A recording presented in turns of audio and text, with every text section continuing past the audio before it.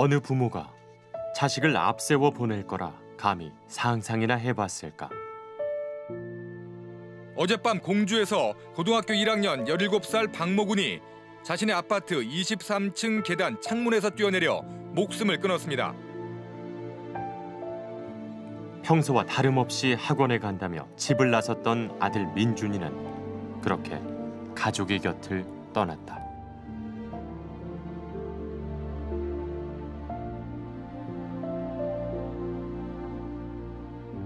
아이가 남긴 유서와 사진 속엔 부모가 미처 알지 못했던 학교 폭력의 흔적이 담겨져 있었다.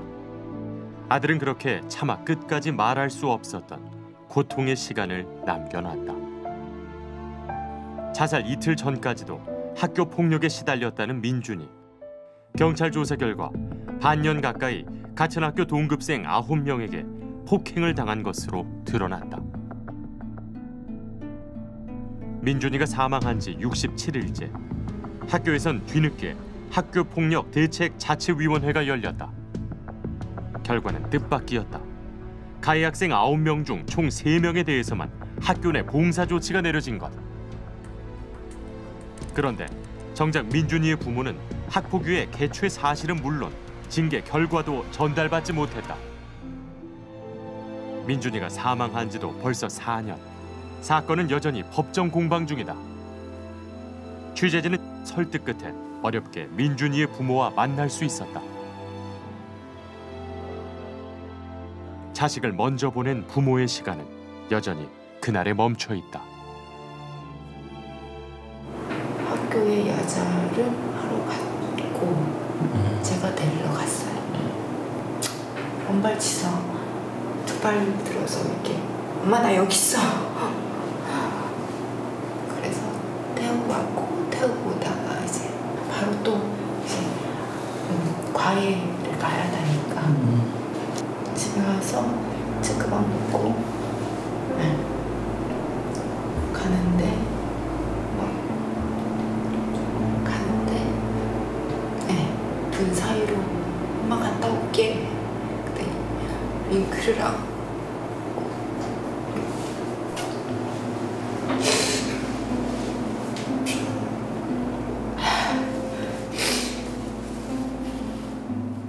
믿기 힘든 아들의 죽음. 그런데 아들을 죽음으로 내몬 학교 폭력 가해 학생들에게 내려진 조치는 너무도 가벼워 보였다.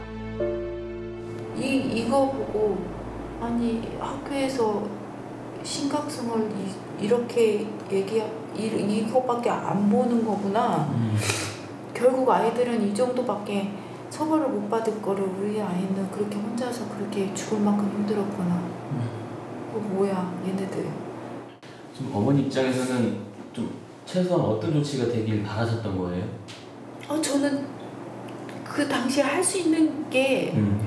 전학과 퇴학밖에 없었어요. 제가 음. 생각할 수 있는 게. 음. 근데 뭐 학교 내 봉사 7일 이게 말이 돼요? 학교 내 봉사 7일? 부모는 아픔을 뒤로 하고 아들 대신 학교와 가해 학생을 상대로 싸워야 했다. 일반 개인이 나서서 해- 할 수가 없어요 이런. 일. 학교에 가서 뭔가를 음. 제가 봐도 할 수가 없고 그냥 그냥 조 거기다 보면 조용히 그냥 우리가 죄인도 아니에요 솔직히 해서 네. 죄인도 아닌데 우리가 죄인다는 거지. 4년 동안 세 번의 학교 폭력 대책 자치위원회와 세 번의 재심 과정 끝에서야 가해 학생 9명 중 6명이 강제 전학 조치를 받았다. 그럴 때 저는 정말 안전장치인 줄 알았어요. 아, 피해자를 위해서 뭔가 보호장치를 하는구나. 예. 노력하는구나. 음. 그렇게 그렇게 생각했거든요. 그런데 2개월 가보고 와 계속 우리가 이제 증거물도 제시하고 또 예, 노력을 하고 그렇게 했으니까 이 정도 되는 거지. 내가 봐서는 이것도 아마 아, 안 됐을 거야 아마 세명 정도에서 끝났지 않나.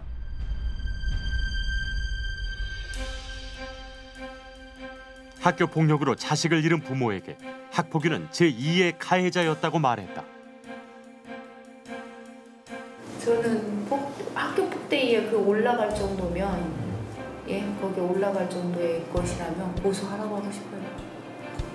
저는 이렇게 해서는 학교 폭력이 사라질 거라고 생각합니다.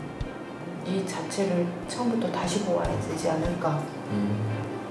학교 폭력 때를 다시 보고 학교 폭력을 다시 바라봐야 되지 않을까.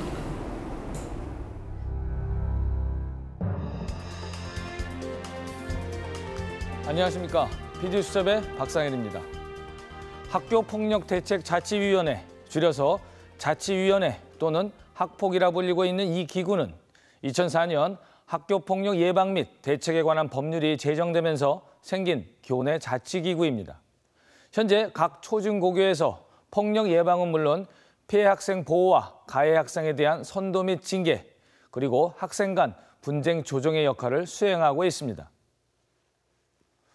그런데 이 학교폭력대책자치위원회가 학교폭력에 멍든 학생들에게 위로와 치유의 시간이 아닌 또 다른 폭력이 되어 피해 학생과 가족들을 고통에 빠뜨리고 있다고 합니다. 기로에선 학교폭력대책자치위원회 그 실상을 들여다보았습니다.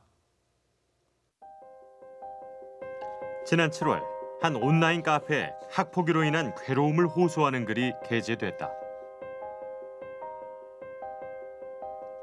나흘 만에 6천 건이 넘는 조회수를 기록, 200건이 넘는 지지글이 달렸다.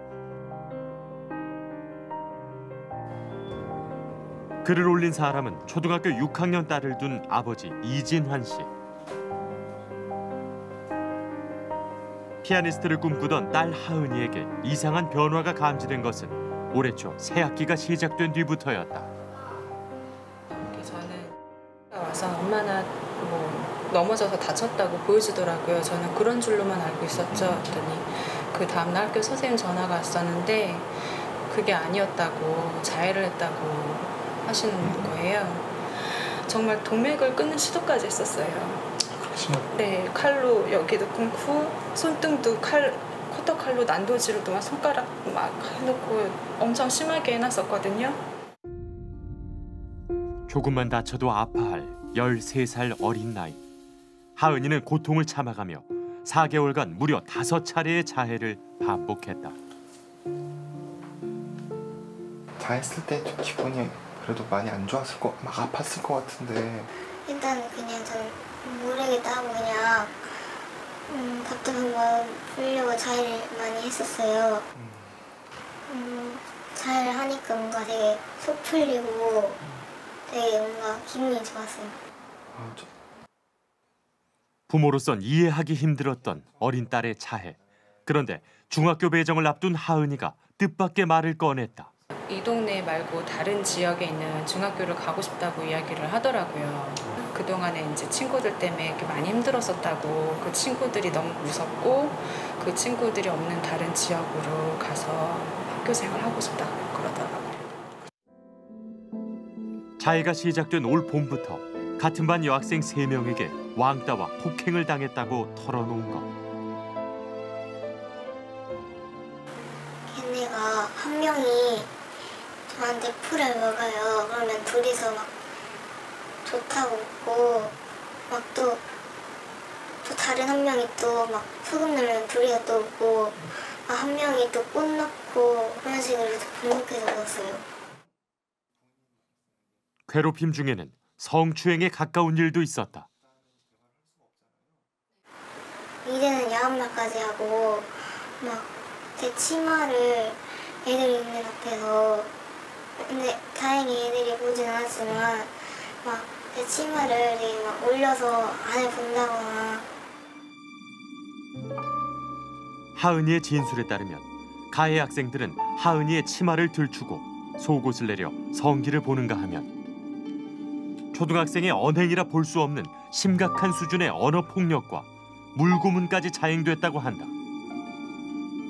물 얘기를 하더라고요. 물고문 당했다고. 그래서 저는 이제 저도 똑같이 생각했어요. 설마 아이들이 머리를 이렇게 붙잡고 수도가에 갖고 물을 이렇게 하리라고는 생각을 안 했죠. 그래서 그, 아 친구들 사이에 할 수 있는 거야. 네, 근데 이렇게 이거는 물 튀기는 정도인 줄 알았는데 그렇지. 그러고 이제 넘어갔는데 또 이제 다음 날가 그런가. 아빠 아니야. 머리를 이렇게 해갖고 나는 물고문 당했다니까 그러는 거예요. 자해를 할 만큼 심적 고통이 컸음에도 왜 5개월이 넘도록 학교 폭력 사실을 알리지 않았던 걸까? 근데도 부모님한테도 솔직히 말하지 못했었어요? 네. 왜, 왜 말을 못했어요? 일단 엄마 아빠한테 말하면 엄마 아빠가 가만히 있진 않잖아요. 학교한테 말하거나 하면은 걔네 뭐 혼나거나 할 거 아니 벌을 받거나 그러면은 걔네가 막 협박할 것 같고 뭔가 되게 무서워서 그냥 말안 했어요. 뒤늦게나마 폭행을 인지한 부모는 학교에 사실을 알리고 대책 마련을 요청했다. 그런데 담임 교사의 반응은 의외였다. 저희가 이렇게 말씀을 드렸던 것 같아. 가해자 부모님 학부모님들 측에도 이 가해 사실에 대해서 연락을 주셨습니까? 그랬더니 담임 선생님이 그러시는 거예요. 아이들끼리 해결할 일을 왜 이렇게 크게 만드시려고 그러십니까? 저한테 그러길래 엄마가 제 전화를 운전 중에 뺏어요. 운전하다가도 뺏어가지고 아 지금 이 일이 아이들끼리 쉬쉬할 사항입니까? 이렇게 얘기를 하고 전화를 끊었던 것 같아요. 부모는 하은이를 데리고 경찰서로 향했다. 경찰은 진술 과정에서 성추행 의혹이 있다며 아동 성폭력 센터인 해바라기 센터로 연결. 그곳에서 하은이는 30페이지에 달하는 진술을 했다고 한다.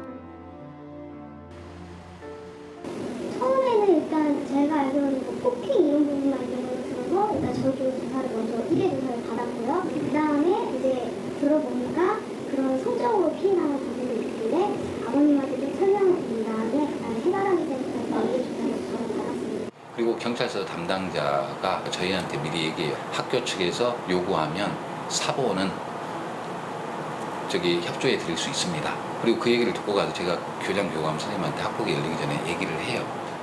두 가지 측면 을 얘기를 했죠. 왜냐면 피해자 입장에서 다시 또 안 좋은 기억을 되살려서 진술을 해야 되는 걸 막을 수 있다. 그 진술서가 있으면. 그 다음에 두 번째는 아무래도 학폭위 이용분들은 수사권이 있다거나 뭐 진술에 대해서 전문성이 있는 질문을 한다거나 그런 게 좀 힘들지 않습니까?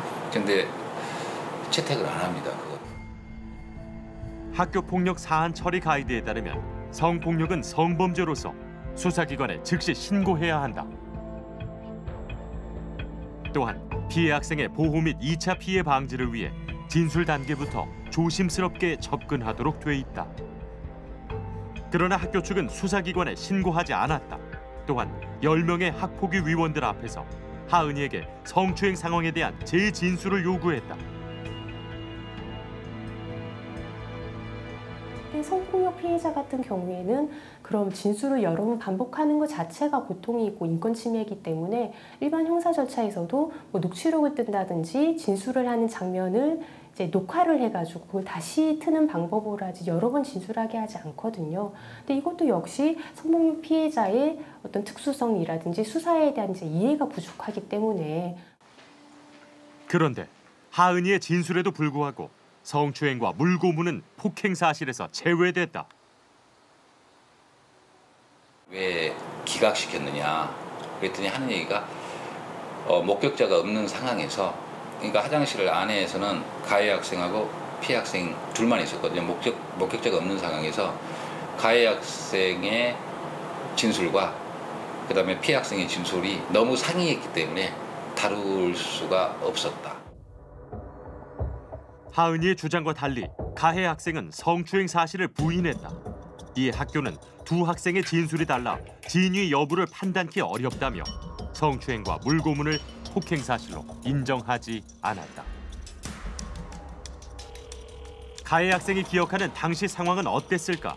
연락을 취해봤지만 답을 들을 수는 없었다.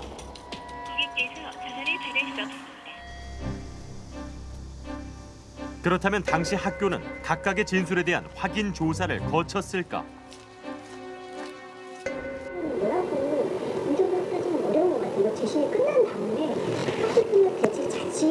전반적인 사항들을 그때 고려해보시는 게 어떨까 생각이 들거든요.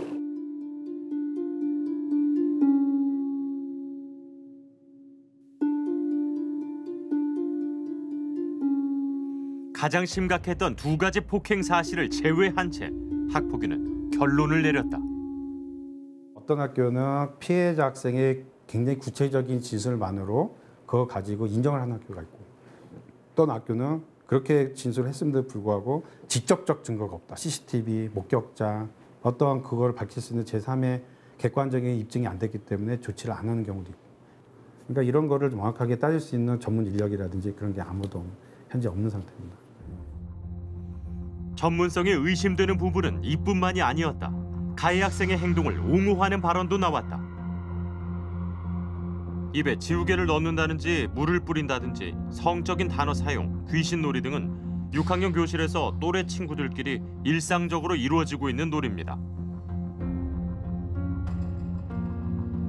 사과의 시간이라며 마련한 자리에서는 피해 학생인 하은이를 오히려 다그치기도 했다. 질문하는 자리가 아니잖아요.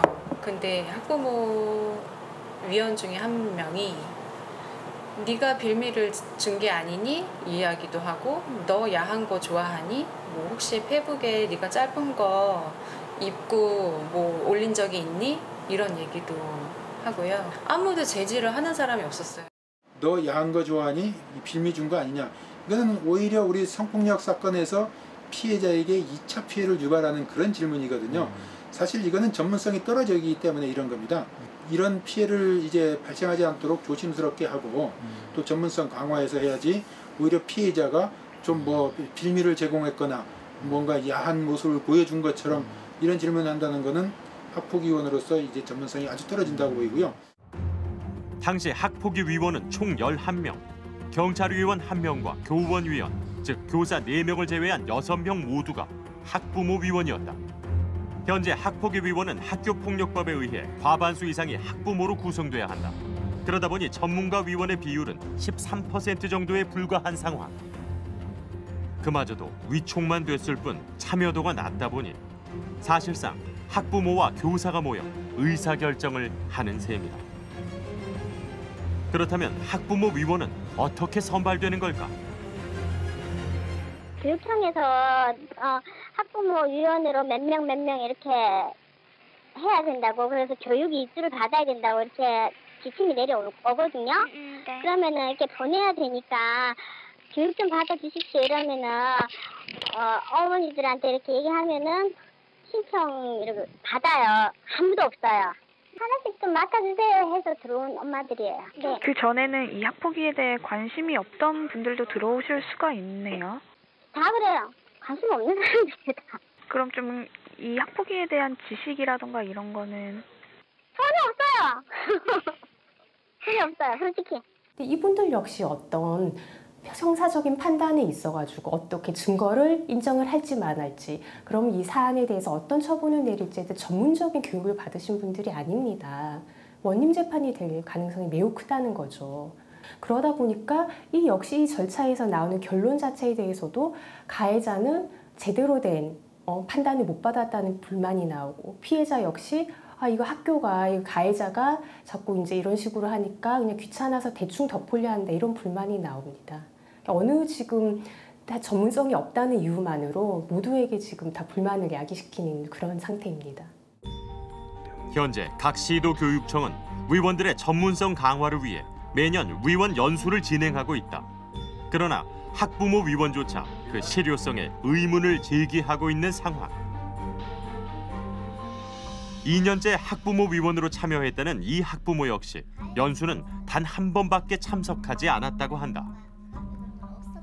저희 학교도 보니까 전원이 가시지 않았어요. 새로 들어온 사람이 가는 걸로. 그래서 저는 작년에 이제 한번 갔었고요. 1년에 만약에 가게 돼도 임기 2년 동안 한 번 정도 교육을 이제 참여하시는 것 같아요. 대부분 보니까. 한 번 아니면 안 하시는 분도 있는 것 같고. 강의하시면서 빨리 맞춰드리면 좋지요. 네, 빨리 맞춰드려야 되지요. 다 바쁘시지요. 이러면서 서로가 서로를 배려하면서 끝나는 교육이었어요. 그래서 저는 배우려 가는, 배우고 조금 더 이렇게 체계적으로 좀 알려고 갔었는데 그런 부분은 좀 실망스러웠죠. 그럼 결국 4시간짜리 교육이 몇 시간 만에 끝난 거예요?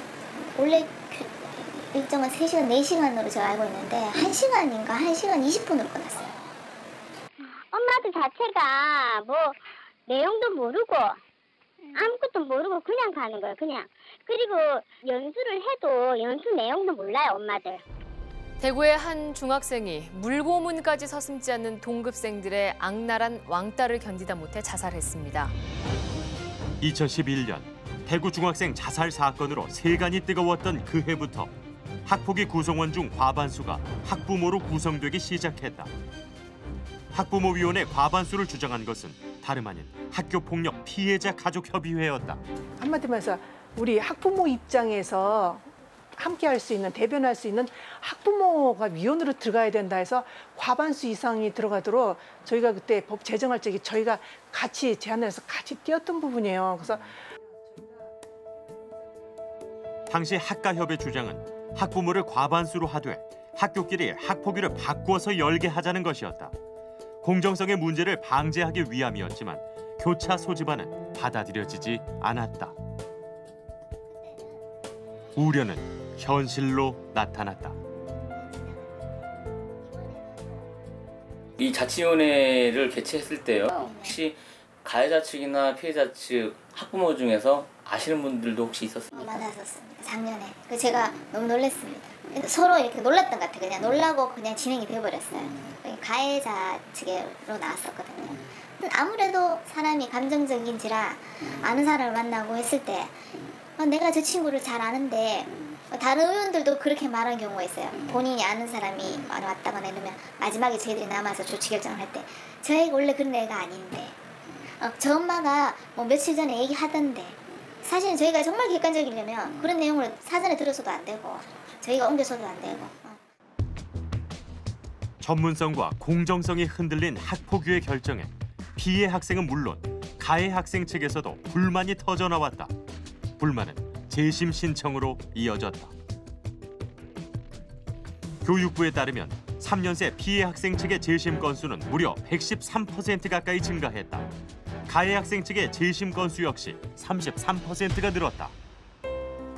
교육부 역시 학부모위원회 전문성 및 공정성에 대한 문제를 인지하고 있었다.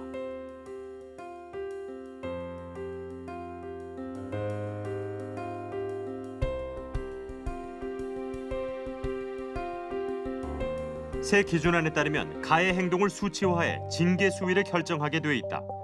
객관적인 기준으로 갈등 발생을 막자는 것이 이번 안의 취지다.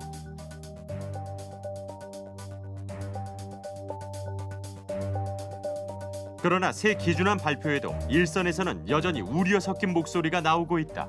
처벌을 하는 그런 기준도 정확 개량화가 되면은 그나마 또 공정할 수 있겠다 하지만 더 중요한 거는 사실을 사실대로 밝히고 누구 어, 누구도 그런 부분에 대해서 이의가 없는 조사 방식이 이루어지지 않으면 조사 단계부터 불만이 있기 때문에 당연히 결과도 불만이 있다고 보여집니다. 하은이네 역시 학폭위의 결정에 불복, 재심 신청과 함께 민형사상 소송을 진행 중이다.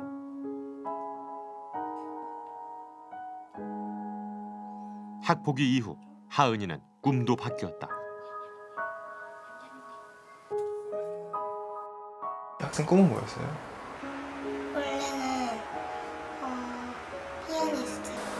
지금 꿈은 뭐예요? 경찰이요. 경찰? 네. 왜 경찰이 꿈이, 꿈이 됐어요? 뭔가 그 가해자들 그냥 나쁜 사람들이잖아요. 음, 가해자들을 찾고 싶어요. 나쁜 사람들 잡고 싶어서? 물론 학교 폭력 사태에 크게 공감하고 최선을 다해 위원으로 참여하는 학부모님도 많습니다. 같은 학부모 입장에서 바른 결정을 내리기 위해 노력하는 것, 그것이 학부모 위원 과반수의 취지이기도 합니다. 그러나 현재 학교폭력대책자치위원회의 사안 처리 과정이 법정과 닮아 있는 상태에서 상대적으로 전문성이 부족한 학부모 위원들 간의 조치 결정은 피해 학생은 물론 가해 학생들에게도 만족스럽지 못한 경우가 많은 것도 사실입니다. 그러다 보니 결정에 불복하는 피해 가해 학생 측은 자비를 털어가며 전문가, 즉 변호사들을 찾아가 재심 청구는 물론 형사 소송까지 진행하며 억울함을 호소해야 하는 상황이 늘어나고 있습니다.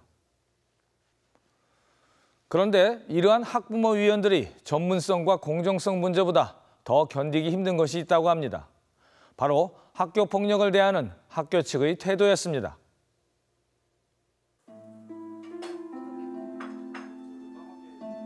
고등학교 1학년 지훈이는 학교 가기가 두렵다. 작년까지 자신을 폭행하고 괴롭혔던 가해 학생과 같은 고등학교에 진학했기 때문이다.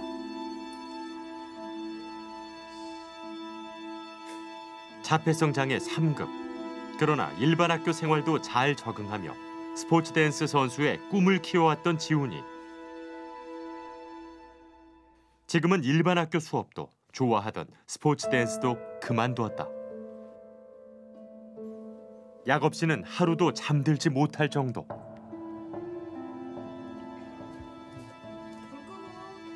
잠도 쉽게 청하지 못하면서 늘 자기 전 라디오를 크게 틀어놓는 버릇도 생겼다.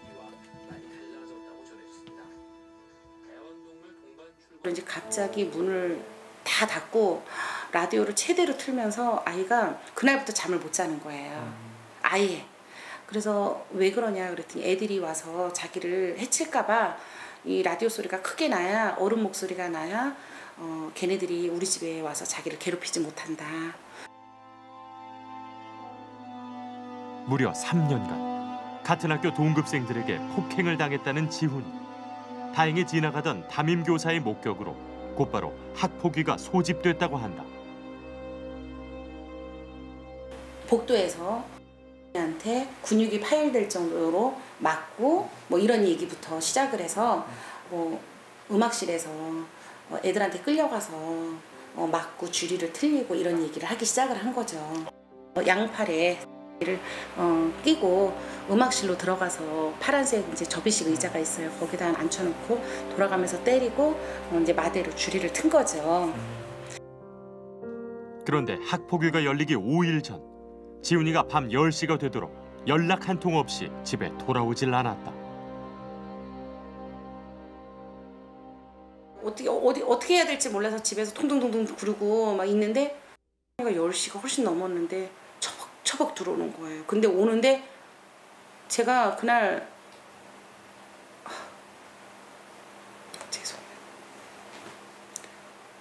애가 걸음이 무릎이 굽혀지질 않는 거예요. 그래서 제가 무슨 일인지 물어볼 새도 없이 애 팔과 다리를 계속 주물르고 지훈이는 겁에 질려 있었다. 사실 여부 확인해야 되니까 사실적으로 말을 해라 엄마. 사실 여부 확인해야 되니까 사실적으로 얘기하는데 엄마 사실 여부가 뭐야? 막 이러면서 애가 계속 똑같은 말을 반복하는 거예요. 갑자기 저를 보더니 이렇게 애 팔이 막 굳어져서 막 있으니까 막 이렇게 하는데 너는 학교폭력위원회를 도대체 왜 여니? 사실 여부를 하기니까 사실적으로 어 말해야지. 너는 전학을 보냈으면 좋겠어? 안 보냈으면 좋겠어? 이러면서 애가 계속 저한테 얘기를 하는 거예요. 느낌이 이상한 거예요 이거 뭔가가 잘못됐구나. 지훈이가 밤늦도록 있었던 곳은 바로 학교였다. 학폭위 담당 교사가 밤늦게까지 진술서 작성을 시킨 것이다. 그냥 뭐 일반 학생 이렇게 그 성적부터 받고 조사하고 그런 것처럼 어, 도 이제 그런 식으로 받았었어.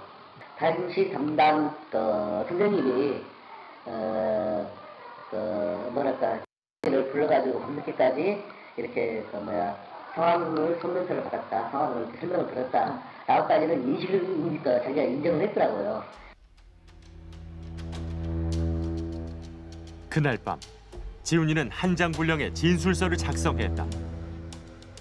그런데 진술서 말미에 의심쩍은 한 줄의 내용이 있었다. 이가 거기서 그런 거 걔네들도 그냥 봉사했으면 좋겠어요. 이렇게 얘기했다는 거예요. 는 봉사를 요구하고 엄마는 전학을 요구하고 여기 보면 네. 지금 어머니 마음은 다른 것 같습니다. 이게 장애를 이용한 거잖아요. 학폭위 결과 가해 학생 7명 중 단 한 명만이 출석 정지 3일 조치를 받았다. 3명은 서면 사과와 교내 봉사, 나머지 3명은 증거 불충분으로 기각됐다. 너 때렸냐? 예, 때렸는데 그렇게 하는 게 아니라 장난을 친 거다. 그리고 뭐 일하나 계속 계획적으로 막 아니 우발적으로 했는데요. 다 이렇게 나가니까 저희가 형사하고 뭐 하면은 진짜 조사를 하죠. 근데 학교라는 범위 내에는 전혀 어떤 증거가 없잖아요. 아예 없었던 일은 아니죠. 애들이 이제 인정을 했는데 때리긴 때렸다. 우발적 폭행이었기 때문에 낮은 징계 처분을 내렸다는 학폭위. 그러나 3차 학폭 이후 지훈이는 보복 폭행까지 당했다. 도대체 내가 분명히 자치위원회에서 이 아이 재발 방지에 대해서 요구하지 않았냐. 당신들 재발 방지 뭐 해줬냐. 그랬더니 접근금지 시켰잖아요. 그래 접근금지 시켜서 아이가 복도에서 그렇게 어? 보복을 당하고 위협을 당하냐. 어머니 접근금지란 교실 안에서만 해당됩니다. 너무 떳떳하게 얘기를 하는 거예요. 이게 어떻게 피해자가 피해를 당하고도 보복을 당해도 아무런 조치를 받을 수 없고 보호를 받을 수 없는 게 학교 현실이에요. 보복 폭행 이후 지훈이는 더욱 마음의 문을 닫아버렸다. 그런데 설상가상으로 올해 3월 가해 학생과 같은 고등학교를 배정받았다. 계약했는데 요즘 고등학교 생활은 어때요? 그냥 갔을 때 힘들죠. 힘들어요? 네. 왜 힘들어?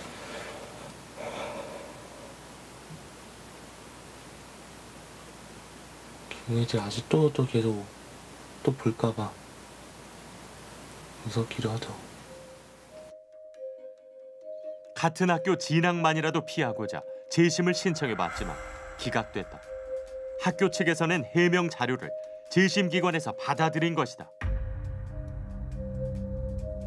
재심에서 어, 왜 기각을 내렸는지에 대한 그 답변서를 봤더니 거기에는 학생이 고입을 목전에 둬서 성장의 기회를 박탈할 수 없어서 전학을 보낼 수 없고 또 나머지 친구들은 우발적이고 잘못을 뉘우쳤고 가해자 부모 또한 피해자 부모에게 진정성 있는 사과와 화해한 점을 참작해서 어? 기각을 내렸다라는 답변서인 거예요. 학교가 제출한 서류 중에는 허위 기재가 의심되는 문서도 있었다. 여기 보면 개인적으로 병원 치료 중이라고 되어 있어요. 근데 12년도에 병원을 다녀본 적이 없어요.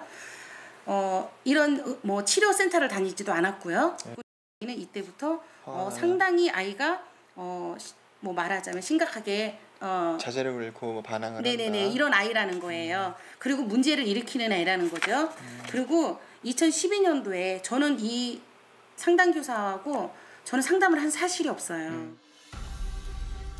치료를 받은 적도 상담을 한 적도 없지만 버젓이 기록된 내용들. 기록은 마치 지훈이에게 문제가 있는 것으로 비춰주기 충분한 내용들이었다. 상담 기록에 대해 해명을 듣고자 해당 교사에게 수차례 전화 시도를 해봤지만 답을 들을 수 없었다. 엄마의 바람은 단 하나. 남은 고등학교 생활만이라도 안전하게 다닐 수 있도록 해주고 싶을 뿐이다. 거짓으로 올린 서류를 작성한 건 학교인데 그걸 입증해야 되는 건 저잖아요. 그러니까 너무 뭘 할 두 눈 뜨고 사실 아이를 지킬 수 없다는 게 제일 힘든 거죠.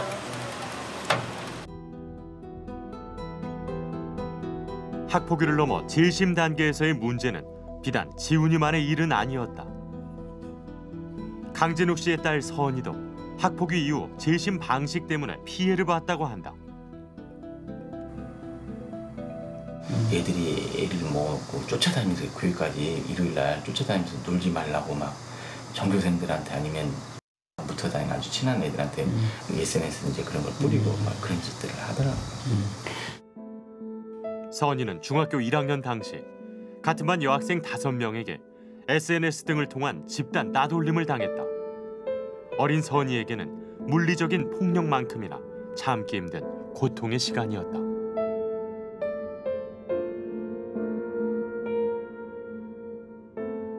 외상 후 스트레스 장애와 우울병까지 앓게 되면서 정상적인 학교 생활 자체가 불가능할 정도였다.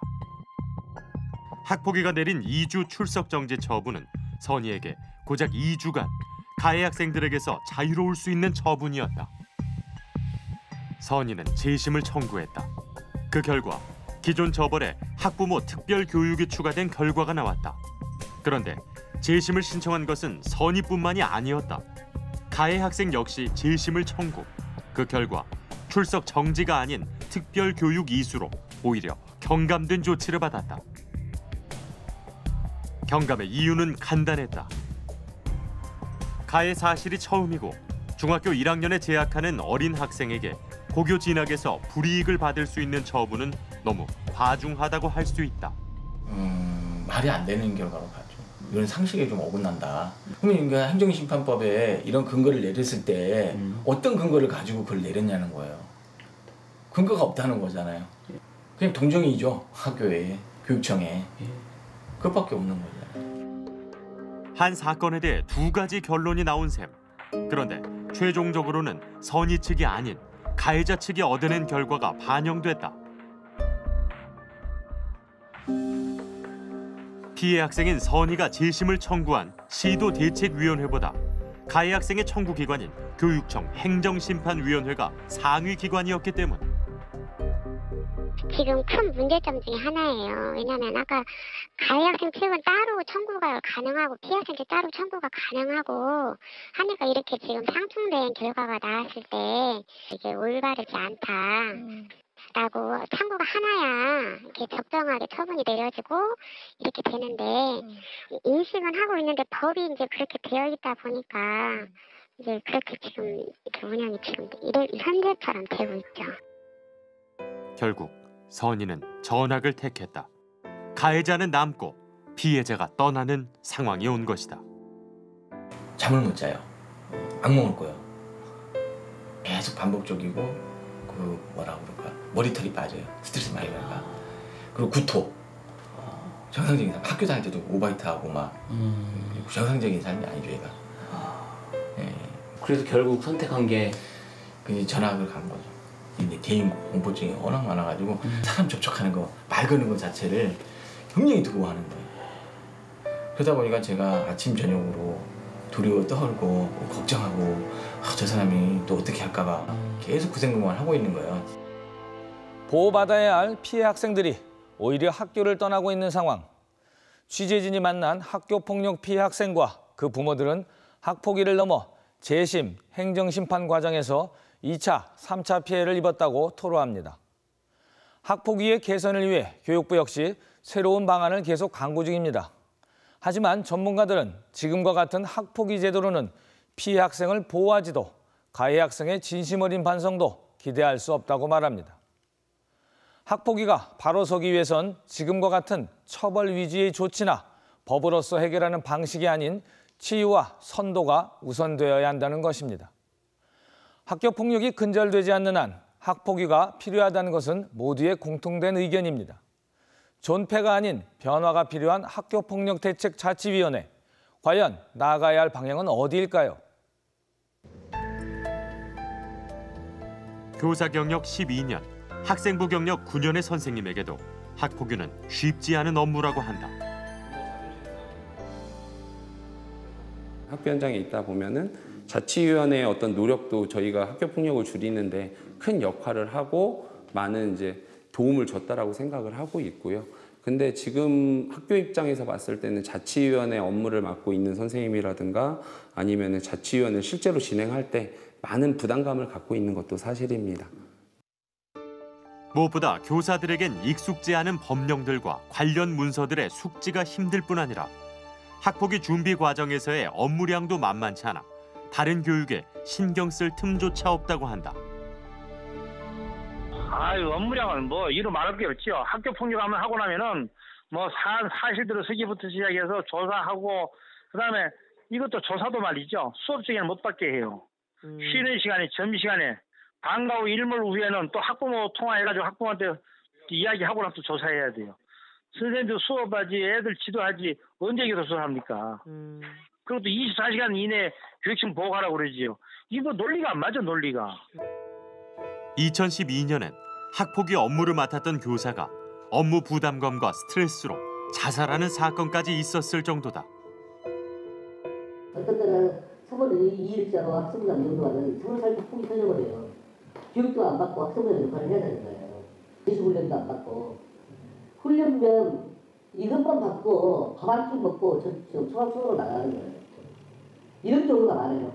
학교 선생님들이 개인적으로 학부모하고 어, 갈등을 가지거나 원수를 지어야 될 일이 없는데 학부모들이 학교 선생님을 무지하게 원망하는 거예요. 저도 학부모한테 엄청난 일은 수모로 많이 당했어요. 이 뭐 어떤 학부모는 너 잘 되는지 한번 두고 보자고 나한테 대놓고 이야기하는 사람도 있고, 어뭐 어떤 학부모는 나보고 X라고 하는 사람도 있어요. 너너너잘 X는 잘 키우냐 한번 두고 보자 이렇게 뭐 아주 막말하는 사람도 있고.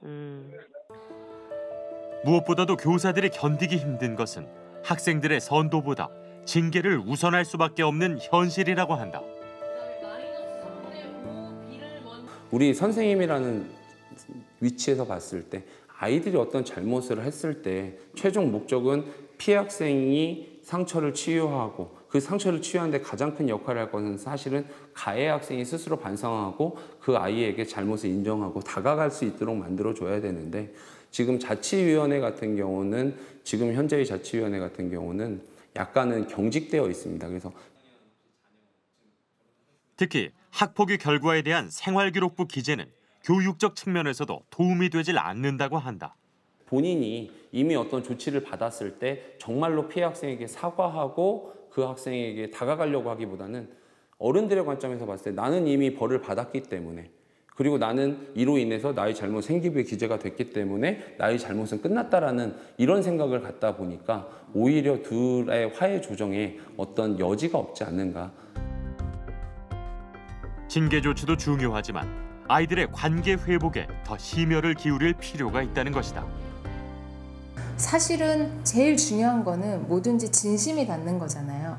조치는 이제 그 각각의 문제입니다. 어떤 행위에 대한 건데 그 마음에서 또는 그 아이들이 진심으로 내가 이것 때문에 잘못했고 그때 정말 몰랐어 미안해 이제 이 말 하나가 굉장히 상처를 치유할 수 있는 좋은 약이 될 수 있는데 이게 학교 폭력이 어쨌든 학생들 간에 일어났는데 뭐 학부모님들이 개입되고 이 조치가 되는 이 어른들의 개입되면서 아이들의 어떤 이런 부분들을 좀 간과하는 경우가 많은 거죠. 가해 학생의 처벌을 넘어 피해 학생의 구제에 초점을 맞춰야 하는 가장 큰 이유는 바로 피해 학생이 받는 정신적 충격 때문이다. 대한 소아청소년 정신의학회에 따르면 학교 폭력 피해 학생들은 그렇지 않은 학생에 비해 약 세 배 높은 자살 충동을 느끼는 것으로 나타났다.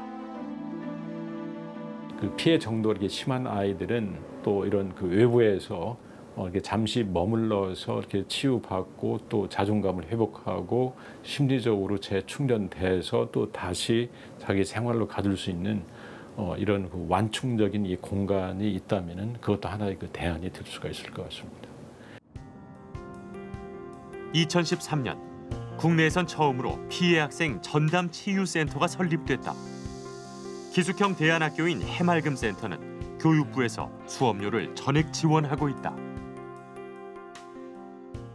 사실상 어, 이게 센터가 설립되기 전만 해도 피해 학생들을 위한 센터는 단 한 군데도 없었어요. 그래서 아 피해 학생들만을 위한 센터를 만들어야겠다라고 생각을 했고 그 배경으로 인해서 이제 이게 설립이 되게 되었죠. 이곳에서 어떤 교육보다 가장 최우선시하는 것은 바로 충분한 상담 치료다. 학교 가기 싫다. 이 세상은 나 혼자다. 어, 내가 이렇게 살아서 뭐하나. 그러니까 저희 어른들이 생각하고 상상할 수도 없는 그런 기분들을 이 학생들은 다 한꺼번에 다 겪고 그거를 혼자라고 생각하기 때문에 혼자 갖고 있으려고 해요. 그러다 보니까 이제 사고가 나고 이제 그런 건데 그 부분들이 빨리 캐치가 돼서 저희 센터 같은 데로 연계가 되면 그 부분을 선생님들이 충분히 이끌어줄 수 있는 부분이기 때문에 거기에서는 효과가 굉장히 크다고 보여져요. 잃었던 웃음을 되찾는 아이들. 아이들은 다시 세상에 나갈 힘을 기르고 있었다. 이런 해맑은센터 같은 프로그램이 없었으면 좀 어땠을 것 같아요? 아마 저 다 자퇴했었을 것 같아요. 안 그래도 그것 때문에 작년에 시위 엄청 많이 했었거든요. 학교랑 집이랑 자퇴서 쓰겠다라고 해서 완전 힘들어서 근데 지금은 좀 어땠을 것 같아요? 지금은 그냥 학교 열심히 다니고 있는 학생들한테 사실 저희도 물어보거든요. 너는 여기가 왜 그렇게 좋니? 라고 물어보면 선생님들이 있잖아요. 이거거든요. 그러니까 이 학생의 이야기를 들어주고 그 이야기를 잊지 않고 계속 지속해서 바라봐주고 끝까지 물어봐주고 그거에 대한 대답을 해주는 선생님. 교육부에 따르면 전국에는 이곳을 포함해 총 31개의 학교 폭력 피해자 전담 기구가 있다. 그러나 학폭위 이후 단계에서 이와 같은 상담 센터가 활발히 연계되고 또 활용되지는 못하는 실정이다. 한 번 받은 그 마음의 상처가 치유되는 데는 굉장히 오랜 시간과 많은 또 그 공이 들어갑니다. 사실 그렇기 때문에 이 피해를 당한 아이들이 정말 온전하게 치유받고 또 회복될 수 있도록 이제 끝까지 지원하느냐. 네, 뭐 한두 번 받고 열 번만 받고 끝나는 것이 아니라 그거를 잘 할 수 있는 그 시스템이 좀 탄탄하게 구비되는 거 그게 중요한 것 같습니다. 아이들이 진정 원하는 건 가해 학생에 대한 강력한 처벌이 아니었을지도 모른다. 자신이 겪은 마음의 상처를 누군가 알아주길 그리고 진심 어린 사과와 화해를 청해주길 바랐는지도 모른다. 학폭이 열리고 나서 지금까지 제일 좀 힘들었던 부분은 뭐예요? 걔네들이 되게 반성 안 하고 있을 때 저 같으면 그냥 음, 저희 집 앞에 와서 물 끓고 어, 문 열어줄 때까지 막 미안하다고 그럴 것 같은데 되게 좀 속상해요.